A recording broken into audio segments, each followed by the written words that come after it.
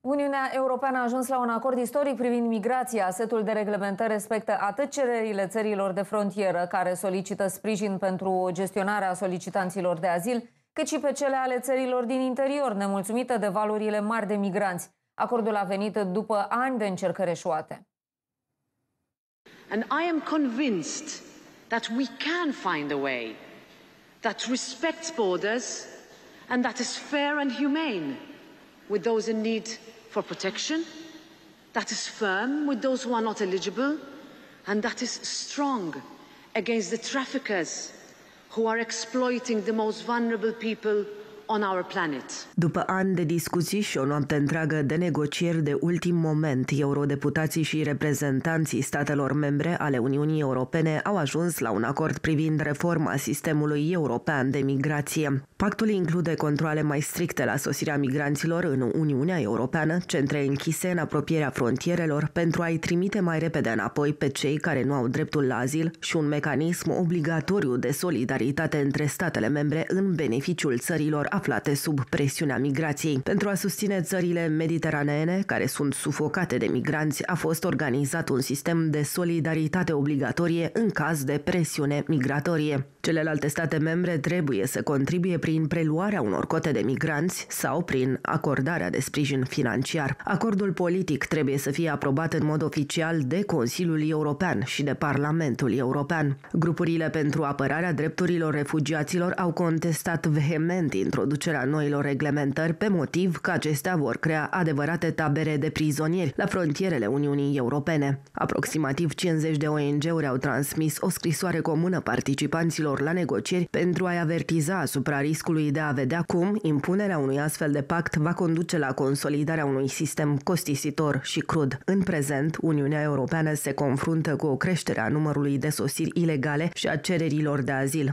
În primele 11 luni ale anului 2023, agenția Frontex a înregistrat peste 355.000 de treceri ale frontierelor externe ale Uniunii Europene, ceea ce reprezintă o creștere de 17%. În Franța, ministrul Sănătății Aurélien Rousseau și-a anunțat plecarea din executiv printr-o scrisoare. Acesta s-a opus cu fermitate în înspririi proiectului de lege privind imigrația, adoptat definitiv de Senat și Adunarea Națională de la Paris.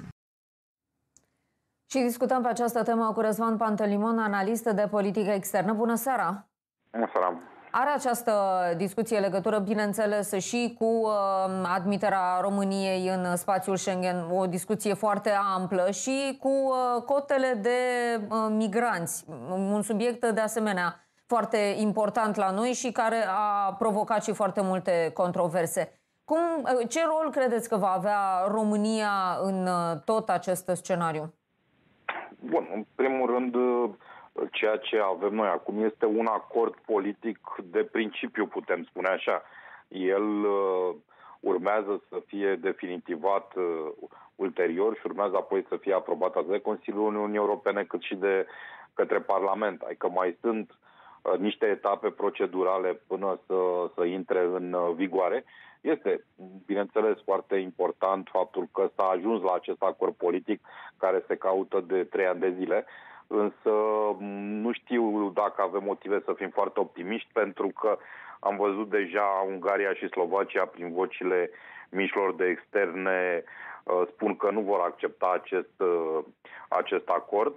Uh, România, într-adevăr, fiind țară de frontieră a Uniunii Europene, este vizată în mod direct de dispozițiile acestea, dacă, repet, el va intra în, în vigoare. Uh, noi, din fericire, nu am cunoscut fluxuri migratorii foarte importante. Uh, vorbim de migrația mondial, cea din zona de conflict din nordul Africii, nu vorbim de migrația din Ucraina, care are un caracter special. Nu am cunoscut astfel de, de situații, însă este posibil ca la un moment dat uh, să se intensifice sosirile și pe Marea Neagră și poate și pe ruta balcanică, inclusiv prin, prin România. Ehm, discuția legată de cotele acelea de refugiați Uh, și de posibilă amendă dacă un stat refuză cotele respective, uh, cred că um, va fi foarte importantă în contextul uh, alegerilor europarlamentare. Să nu uităm totuși că în iunie anul viitor vom avea alegeri parlamentare. Deja migrația este o temă importantă. Am văzut în Franța, spuneați și dumneavoastră, a fost o temă discutată și în, în Parlament și este văzută ca o înfrângere a poziției președintelui Macron. Cred că și în România vor exista Uh, o serie de voci care vor prelua această temă și o vor aduce în discuție în contextul alegerilor multiple prin care va trece România anul viitor. Deci nu doar în ceea ce privește alegerile europarlamentare, ci și uh, alegerile parlamentare locale și prezidențiale. Mulțumesc foarte mult pentru această